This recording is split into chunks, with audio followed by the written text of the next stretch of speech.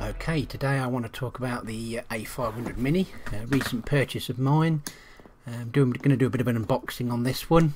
Um, really looking forward to this. Uh, great expectations. I've seen a couple of um, other YouTube reviews and it looks a pretty cool bit of kit. I'm hoping it lives up to its uh, reputation so far. So a quick look on the back of the box. There's uh, not an amazing amount of games for me, but um, I do. One of the big reasons for buying this was uh, the WHDLoad function that you could uh, obviously put your own games onto it. So um, that's the main reason I wanted to do it. Um, just to get around the uh, issues that I've got with my. I have a fully, fat, you know, full fat version. I have the A500 Plus, um, which is, I think the main advantage of this system is it is plug and play. It's easy. Um, you know, like I say, I do own the real thing.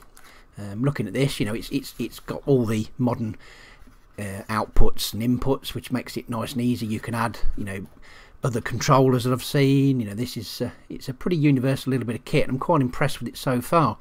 As you can see, I'm uh, 6269 serial number. Um, obviously, the keyboard doesn't work if you're not familiar with it.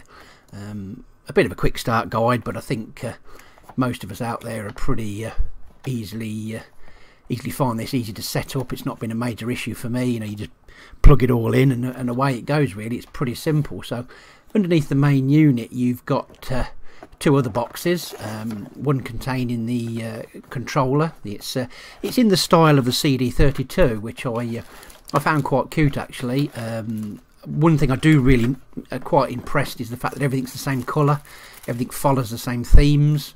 Um, you know, even though it's modern, it all carries that original sort of theme to it. This uh, controller's pretty good. You know, from a comfort perspective, I've got no problem with it. The buttons are nice, responsive. They're not mushy. I think it's uh, it's had a lot of detail and time spent on it, and I'm quite impressed with it really. Uh, moving on to the other box, obviously this is going to be the uh, tank mouse. Now, as you can see, I've got big hands, so uh, this particular uh, controller you know, dwarfs with my hands on it. Um, nice that it's an optical, but it's not a red optical, it's a clear optical, so it doesn't emit any light.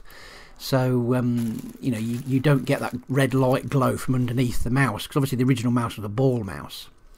Um, you know, there's the setup, what you get in the box. Um, you know, it looks like a mini version. This is my full fat version, that's my uh, main system. But like I said, you know, it's a pretty, this is your interface, it's a pretty easy system if you just want a, a, a fix, which is what I really bought this for. Um, the menu's you know pretty self-explanatory. Um, the games are there straight away for you to load, including the WHD you know load packages if you want. It brings up a USB icon for your own game, so I shall be doing that at a later date. Um, main menu, your screen, you know, your option screens. You can change, you know, the operation of the LED. You can look at you can various filters and things. Up and down on the button brings up either save functions or the help function for that particular game. Shows you what buttons there are to press. You you've got different language options, different screen options. Obviously, the shutdown options, factory reset. So, you know, all the options you'd ever need for setting up a device like this. So, uh, getting into the games. Obviously, this is just uh, one of the first games I've loaded. It's it's a, a pinball game. Don't know why they included two on it, but there you go. Not my cup of tea. Um, this one's pretty good, Project X. So this is uh, basically like a um, Starfight, look almost like an R-type sort of game. So uh, really am pleased with that. Nicely, nice that they included it. Um, it's, it's that kind of quick arcade fix, and, and again, this is the, what this machine is all about. It's not about you know wading through endless setups and things not working and loading. This is a quick fix machine that you know you can you know, perfectly just lo load stuff up and away you go. So really, really pleased with the way they've set this up. Now this is a little platformer. I actually quite like this game. I thought I was really uh, quite pleased to play it. I could have I could have stayed on this quite a long while. Um, you know, very very easy to play. You know, easy to get round. It's just a platformer. Nothing really special about this, but really nice to play. Not particularly hard. Um, but just um, fun, really. Exactly what it is. It's the quick fix platformer. It's not something you're going to be spending hours on, but uh, you know, really good in the in, in, in the end. Really, I quite enjoyed this little game. I didn't want to uh, move along, but there's quite a lot to get to, so we'll, we'll, carry on. Okay, next the Sentinel. This one's a bit of a weird one, where the uh, you take control of the robot, like a telepathic robot, and it uh, moves across like a checkered landscape and valleys, and you have to climb around and uh, you know get over which the uh, you know, there's a Sentinel which looms over the top. Um, this one's um, this one's Simon the Sorcerer, well-known point-and-click adventures on the Amiga, really well received, well well respected, so a nice addition to uh, be included on this mini. Speedball 2, so uh, this one particular one's made uh, you know, by the Bitmap Brothers as well, so uh, you can tell by the graphical style that similar to the Chaos engine, I think, and uh, you know, great fast game to play, really interesting, nice to play.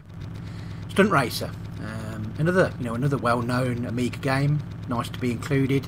Um, quite difficult to play, quite difficult to stay on this track, but um, in, in, its day, you know, at the time, it was uh, pretty revolutionary. This was pretty good graphics, you know, stuff that was uh, unheard of at the time. Amiga brought, you know, an, an incredible uh, amount of detail and, and, speed to this particular uh, type of game. So it was uh, a real, a real changer at the time. This one's pretty cool. Supercars 2, overhead car racer quite interesting to play. It was this was pretty much the, the style of the time, just that racing cars hadn't evolved into 3D. This is uh, Titus the Fox, so uh, just a bit of a side-scrolling game, stroke platformer. You know, you've got platforms you can jump on, and you've got to work your way across the level. Um, you know, nothing particularly special on this one. Quite enjoyed it. It's, it's well colourful. It's nicely drawn. Um, like you say, just a nice quick fix. Worms, well, you know, what can you say about Worms? It's on pretty much everything. Um, it is what it is. You know, it's a pretty good version. It's nice and quick. You know, it's well detailed. It's nice when you know all of these games benefit from uh, being shown on HD. You know, MI. Um, Zool, another Amiga staple. You know, you can't. There's nothing really you can say about this that already already hasn't been said. Um, it's a nice, colourful version. Makes you want to throw up when you're playing it because it's so bright. Um, you know, not a game I can play for long. Just too bright and too colourful. Right, here's a Doom clone. You know, is straight out the box Doom clone. You know, quite an achievement actually on the Amigas. You know, it was. Uh, I think you know, considering you know, comparing it to Doom, it's okay. It's not quite as colourful. It's a bit small, but uh, a valiant effort. You know, to you know to put uh, a Doom style game on that. Alien Breed. So, uh, we're moving along quite quickly. Um, this is a um, over-the-top, um, you know, exploration game based on the Alien movies. Um, so you have the, the premise of this is you have to find the keys and some, you find keys to open the doors and you find money to buy, you know, weapons upgrades and stuff like that. So uh, pretty nice game actually, quite quite cool to play. Another world, you know, again on everything very well respected game. I'm not really going to show much of this because it's been on everything. Uh, one thing that is cool though is this intro, so I thought I'd include the intro in this. I was quite, uh, quite uh, well. I could sit and watch this all day. You know, it is it, what when you look at how they did this, when you look at the technical aspects of how they created that, it was brilliant. Pool game, you know, um, didn't expect to see this on there. Um, you know, it, it plays pretty well. Um, for a pool game. Not my cup of tea, but you know it's there. It's uh, it's a stocking filler. It was uh, nothing great there, but hey, it it works. right, next one, air cars. You know, another over-the-top uh, car racing game.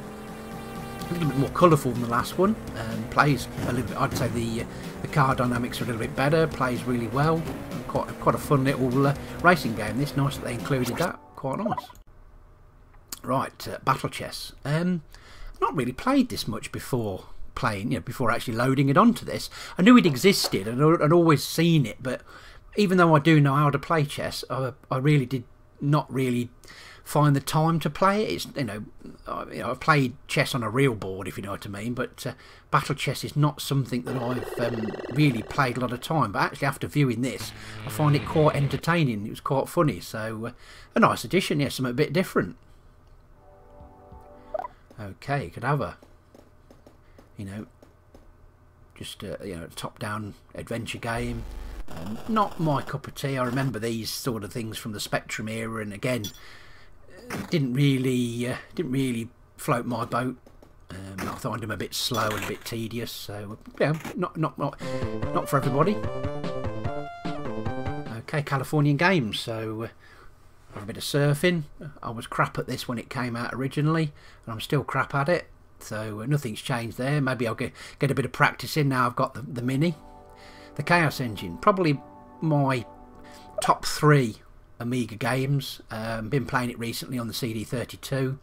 This plays exactly the same actually, so uh, I'm really pleased that I've got a quick fix version of this. Um, one of my favourite games, you know, like I said, you know, it's been on everything. It's in everybody's top five. You know, maybe top three. You know, it is cracking game. You, you can't. There's, no, there's, not a lot you can really fault with it. You know, I uh, love every minute of playing this. Um, I just wish I was better at it. Right, so we'll move along to the next one. And that is going to be... There you go. Blink if you saw it. This is Dragon's Breath. Like uh, an advanced Dungeons and Dragons sort of game. Uh, you know, not exactly my cup of tea, but, you know, like I say, there's different stuff for everybody on this machine, which is quite good. This one's uh, F-16 Combat Pilot, so it's like a bit of a flight sim. Um, incredibly hard, I find it. You're all over the place and die pretty quick. Um, quite impressive. Yeah, the graphics are quite, you know, quite pretty, and the HUD that you've got is quite good. This is the Lost Patrol, so this is like a um, you've basically got to find your squad. It's uh, like a search and rescue sort of game. So uh, again, not my cup of tea this particular one, but you know, horses for courses. You know, there's got to be some out there for everything. So uh, yeah, didn't pump a lot of time into this, so maybe I should give it a bit more time just to see what it's all about. But like I say, not usually mine cup of tea. This one's Paradroid 90. So uh, again, not my cup of tea. This one, it's a bit weird. This, um, don't know why you'd include this particular game. Didn't get on with it straight away, so I've I've pretty pretty much put this one on the back burner. Um, so. Uh, again, not really sure how to play it, not get, invested a lot of time in it, so I'll skip this one and move on. Second of the pinball, you know, uh, emulators, you know, shooters sort of thing. So uh, this one actually plays, I think, plays better than the other one. Um, I quite enjoyed this. I spent a little bit of time on this. I do, being a pinball fan, um, I'm quite critical of, of how these games play, and this one plays pretty well.